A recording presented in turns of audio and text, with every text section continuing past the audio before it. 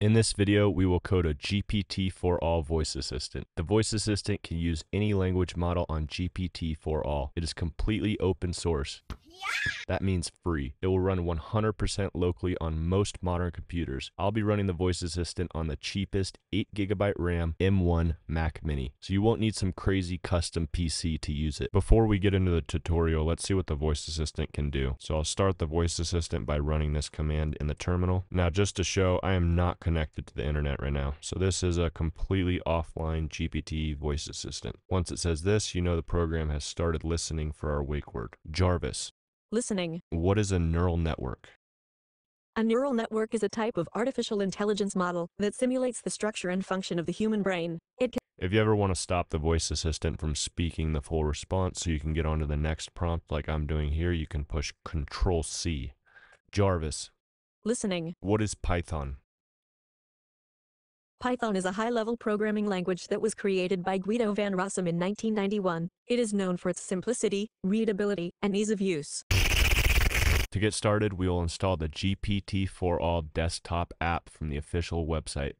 I'll leave the link for that in the description. Next, we will open the app. Inside the app, we can download any of the available language models with one click. I'll use the GPT-4All Falcon model today. While code editors are subjective and you can use whichever code editor you prefer, I'll be using VS Code. The voice assistant will be coded in Python. To install Python onto your machine, I recommend using Anaconda. You can install it from the website linked in the description. First, we will install the GPT-4All Python library. Next, we will install the Whisper library from OpenAI. Then we can install the Speech Recognition library. And finally, we will install the PlaySound library. In order to run all of the Python libraries that we just installed, we will need to install a couple more dependencies. We will install the PyAudio Python library, as well as the Sound File library. Then we need to install FFmpeg for our operating system. Run the command from this list for your operating system. Lastly, Mac users will need to install the Port Audio library using this brew command. Once installed, create a folder called GPT-4All underscore voice. Open your code editor, then open the folder we created. Within the folder, we will create a Python file called main.py. Within our main.py file, we can write these lines of code at the very top to import all of the libraries we just installed, as well as some built-in Python libraries needed for our program. Create a variable called wake underscore word. Within a string object, I will specify Jarvis as my wake word. Now we can create a model object where we will load the model into the GPT-4All Python API. You'll need to give the file path to the model on your computer. On Mac, it will be located in the same file path, just change your username. On Windows, the file path will look something like this. To verify we are passing the correct path, we can open a new terminal on Mac and Linux or a command prompt on Windows. Use the cd command to change the current directory to the GPT-4All folder. If the cd command works, you have the correct folder path. Now use the ls command to show all the files and folders in the GPT-4All folder. The model file will be one of the bin files. Now you can paste your folder path and add the model file to the end of it. Create a variable called R where we will initiate the recognizer class from speech recognition. Then create a variable called tiny model to load the Whisper tiny model, as well as a base model variable to load the base model. OpenAI Whisper has different size models we can run on our computers. Bigger models provide better performance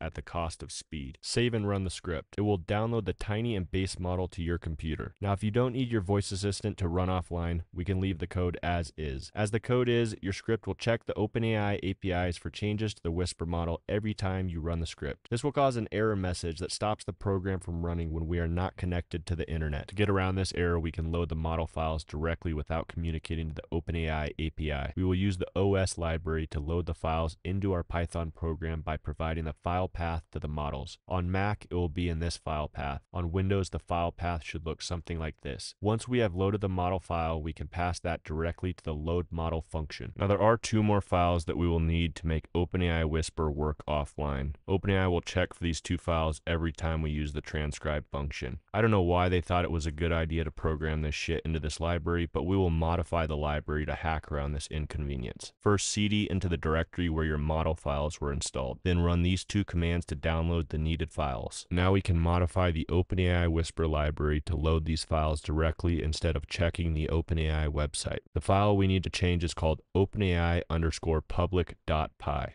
It will be inside the tiktoken underscore ext directory. On Mac, that is going to be at this file path. On Windows, your file path should look like this. Open the OpenAI underscore public Python script. Import OS. Then on line 13 and 14, we will change the strings linking to the OpenAI servers to load our files locally to the script. Now you can save and exit this script. Now that we have modified OpenAI Whisper to run locally on our machine without an internet connection, we will have a similar issue with the GPT-4all Python library. We don't need to modify this library, we just need to pass allow underscore download as false when we load the model into our voice assistant. Now we can write the code for text to speech. On Mac, the best method for local text to speech is slightly different than Windows or Linux. Using the SYS library, I will check if the operating system is not equal to Darwin. Darwin is Mac OS. If it is not Mac, we will import PyTTSX3. Non-Mac users will need to install by running this pip command. Initialize PyTTSX3 inside a variable called engine. Define a function called speak that takes a text input. Check if the operating system is Mac. If it is Mac, then we will run these three lines of code to clean the text input and send it in a terminal message to the built-in Mac text-to-speech engine. You may need to pause here to copy that. Write an else statement that will run for Windows and Linux operating systems. Then run the pyttsx say function as well as the run and wait function. Now define a function called listen for wake word that takes an audio input. Next we will use a boolean variable called listening for wake word. Add that on line 18 and set the variable as true. Inside the listen for wake word function we can declare listening for wake word as a global variable. Now we will create a file called wakedetect.wave, then write the raw audio input to the file. Using the Whisper Tiny model, we will transcribe the wakedetect.wave file and select the text transcription from our audio input in a variable called text input. If the wake word is in the text input, we will print and speak to the user to notify that our program is listening for a voice prompt. Then change the listening for wake word global variable to false. On line 19, create a variable called source and initialize the microphone class from the speech recognition library. Define a function called prompt GPT that also takes an audio input, again declaring the global listening variable. Start a try statement and create a file called prompt.wave. Then write the raw audio prompt data. Use the base model to transcribe the prompt.wave file. Select the prompt text from the Whisper results.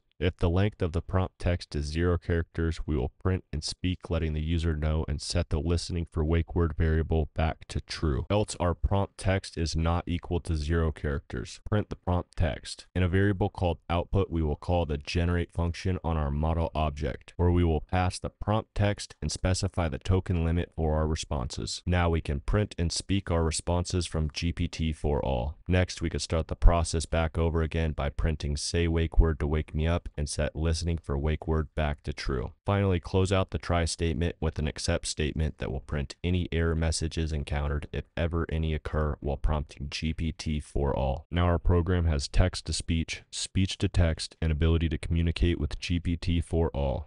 We just need two more functions to control the logic of our program. Define a function called callback that takes recognizer and audio as inputs. Declare the global listening variable. If listening for wake word is true, run the listen for wake word function on the audio input. Else run the prompt GPT function on the audio. Now define a function called start listening. With sources S, we can run the adjust ambient noise function from speech recognition for two seconds to analyze background noise from our microphone. Then print say wake word. Unlike the previous Python voice assistants on this channel where we use the listen function from speech recognition. We will use the listen in background function for this program. In the other programs, we had to start up a microphone process for every time the program listened for wake word or prompt inputs. Using the listen in background function, our microphone starts and stays running in a separate process on our CPU while all the other code for the program runs. Now that our microphone is running in a background process, we need to keep the start listening function running. To do so, we will call in the time library's sleep function every one second inside of a while true loop. Now we have all of the Python functions for our voice assistant.